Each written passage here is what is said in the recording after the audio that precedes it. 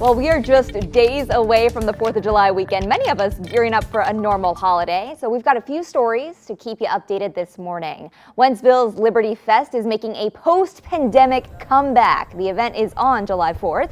It includes a parade, family activities, live music, and professional fireworks.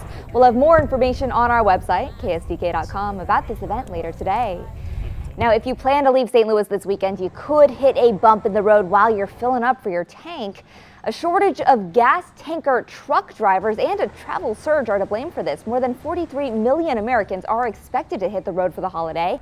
Not only is gas in short supply, prices are at the highest level since 2014. Right now, the national average is around $3.10 a gallon. That's, well, it's also about 23 cents cheaper if you're here in the St. Louis area.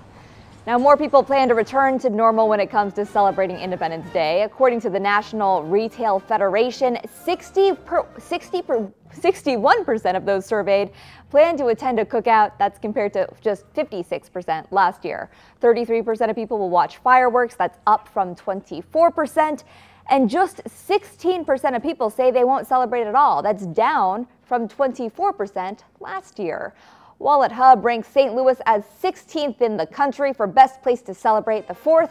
St. Louis earns high marks for the number of celebrations and attractions, but we did earn low marks for safety and some of our humid weather. Mm.